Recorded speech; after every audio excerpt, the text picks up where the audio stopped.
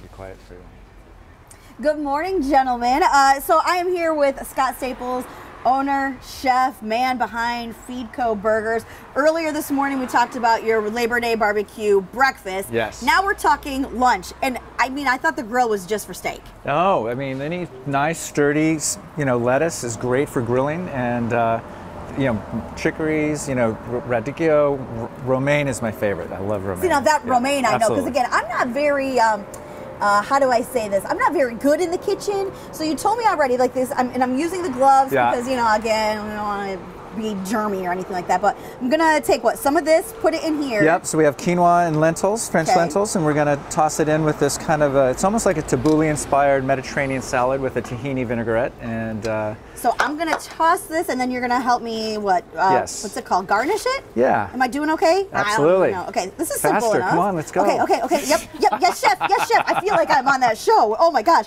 Okay, All yes, chef. Okay. Now. All right. Excellent. Here. So what I love about this is that grilling the lettuce gives it a little smoky flavor. So Yes. and that's kind of what we're looking for over Labor Day, right? Right. Okay. All right. A little more. Oh, more, Excellent. okay. Excellent. Okay, All right. okay. Awesome. All right. So then these are uh, little falafel fritters. We have Can I try one of these? Oh yes, absolutely. Some roasted beets. Yeah, we should have those on there. And then some some candied pecans. I need to try one of those Oh too. yeah. Notice I'm not trying the lettuce because apparently that's the healthy part of this. And I can't help. I love avocado. So this is a this is a version of our boosted bowl. This is going to be a new item on the menu. We have a boosted bowl now, very similar, but it's going to change a bit. And then lastly, I have a, uh, t- uh, a yogurt garnish. Ooh. There we go. And this looks, I mean, again, you're the professional, Yeah. but I feel like you taught me how to do this so simple. It's just a couple of steps, really, Absolutely. for Labor Day. Yes. And then, I mean, can you make this stuff ahead of time? Oh yeah, absolutely. So um, you know you can get a nice falafel mix and get them ready, fry them up ahead of time. You have your vegetables, which we all love to cut and make for salads. Um, you can buy what I, you know a cheat is you can go to the store and get like a, a um, like a lentil or a quinoa salad Ah. That's already made like at one of the you know one of our you know like uh, you know like a Whole Foods, right? ones. Yeah, yeah, yeah. Yep. And then you can mix that in. So you know it's easy to pull this stuff together.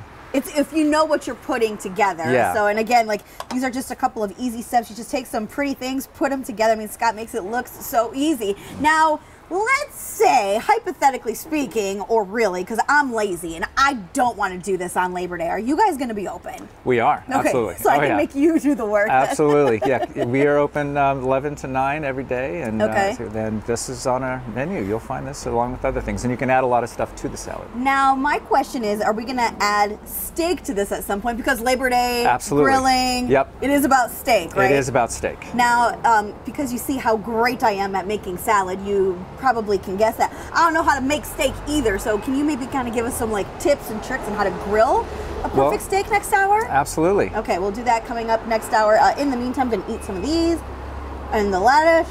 Uh, I mean, maybe the lettuce. That's good though. Mm. Uh, again, more grilling tips coming up next hour. Guys, back to you.